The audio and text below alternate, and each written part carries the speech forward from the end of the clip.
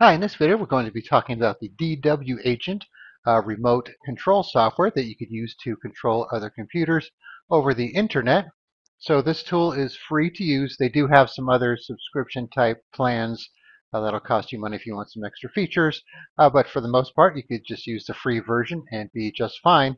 So like I said, it is done over the internet via a web browser, so you don't need to install anything except for on the computer that you want to connect to. You'll need to have the agent running.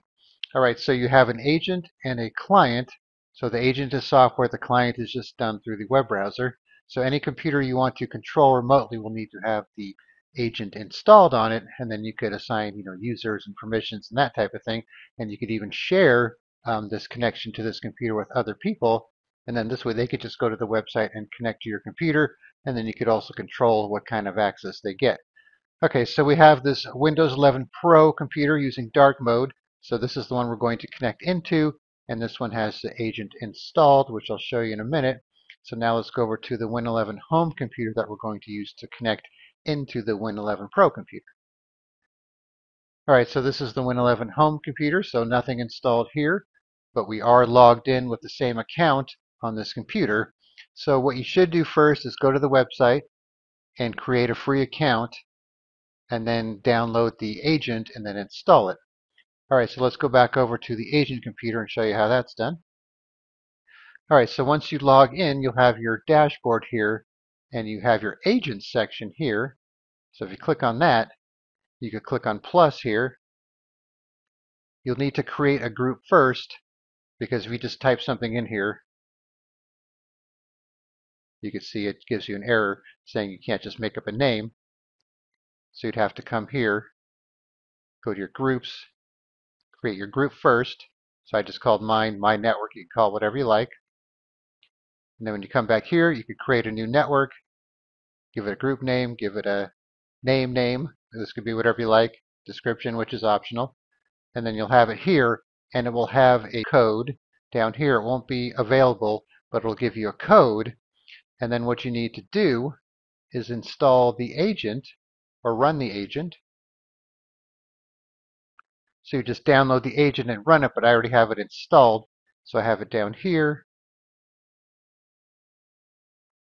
And so this will be what it looks like when you install it. So then you could click on Configure Agent.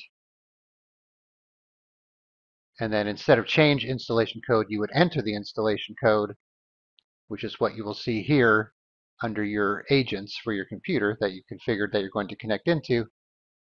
And then you just kind of go through the wizard there and finish it up.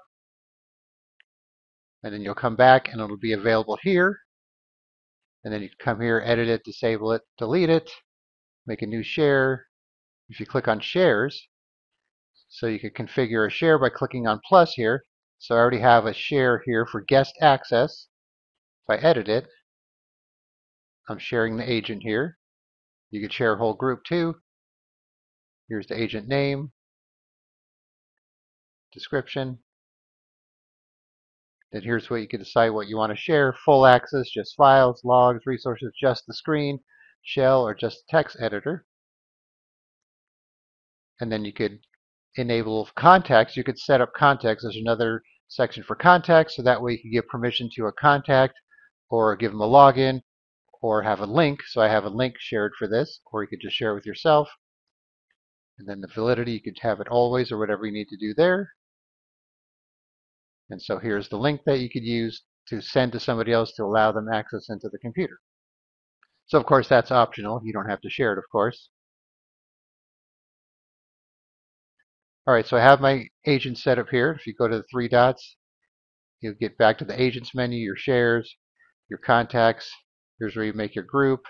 Then you can analyze the event or just go to your account in general. All right, so we have the agent running on this computer here. You can see here.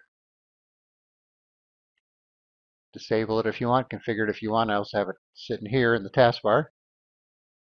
Disable, configure, uninstall. Configure unattended access if you want. All right, so now let's go back over to the Windows 11 home computer that's going to connect into this computer and then make a connection. All right, so we're logged into our account here on their website. Now if I go to agents, I have the same agent that I configured on the Windows 11 Pro computer. It's even called Windows 11 Pro. That's what I called it. And if I click on here, I have the same options here if I need to make any changes, since it's the same account.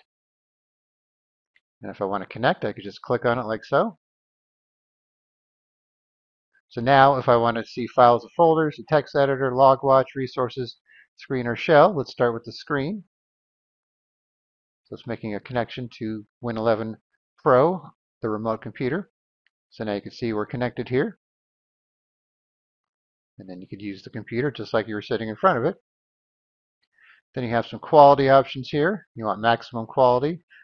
So if you have a fast connection, you could put it on that. How well it'll work, you'll have to see. So I'm recording at a low resolution right now, so things are a little fuzzy. Uh, display options here. If you have more than one display, disable audio, disable mouse and keyboard, send some keystrokes if you want. Send Control Delete, Control Escape, paste to remote, copy text by remote, and then full screen mode. And if you come back here, I could do files and folders. So here are the files and folders on the remote computer. So if I go to the C drive, for example, you can see we have everything here. Go to this user account, documents. So we can see all the documents here. You can right click, open with, make a new folder there, delete it, rename it, cut, copy, paste, download it if you want to have a copy on your computer from the remote computer, or if you want to upload a file to the remote computer, you could do that as well. And you can see we have the path up here if we need to go back and forth. We also have some download and upload buttons here. You know, cut, copy, paste, delete, make a new folder, refresh, go up a level, and so on. All right, let's go back here again. Text editor. So if you want to make a text file here, you could choose your type, save it, make a new folder, make a new file. Uh, LogWatch, I guess only if you really need to see the logs, you could come here.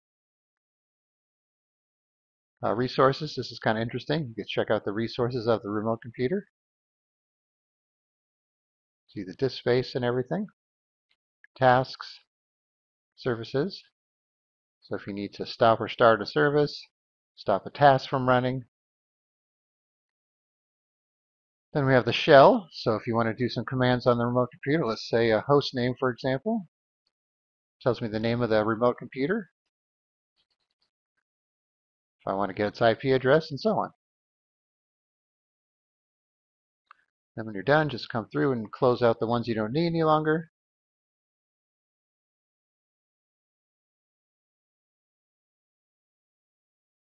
And then when you want to disconnect, just disconnect. All right, so once again, go to their website, create an account. Do that first.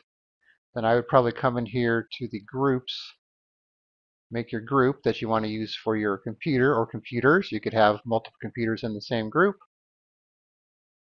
And then you want to come to the agent section on the computer you're going to be controlling.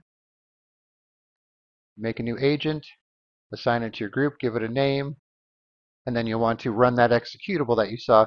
So it can be a little confusing because even though I'm on the uh, computer that doesn't have the agent installed, you still see the same options. So you need to make sure you're on the correct computer first uh, before you uh, install the agent. So obviously you're going to be on the destination computer and do all these steps like I just showed you with creating the group, adding the agent, and so on. So let's go back over there real quick. So this is the computer that we're connecting to. So this is where you want to come make your group,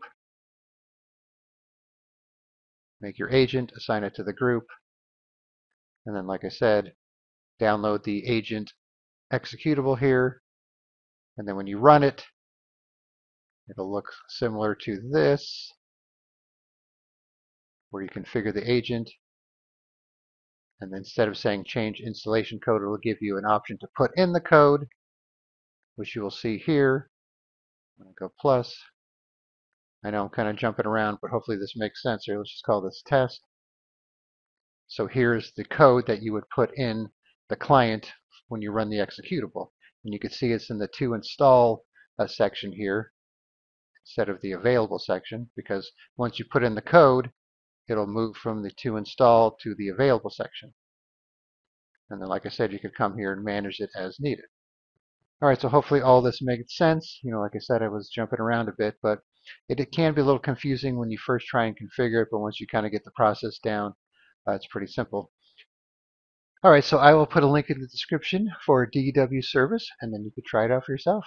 All right, thanks for watching, and be sure to subscribe.